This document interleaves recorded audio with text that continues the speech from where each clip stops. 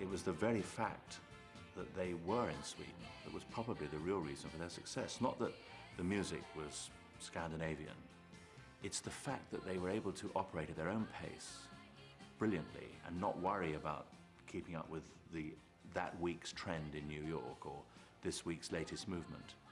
And they were able, therefore, to just concentrate 100% on writing the best possible song at any one moment. And at the end of the day, time and time again, an artist will survive fads, fashions, because of great songs.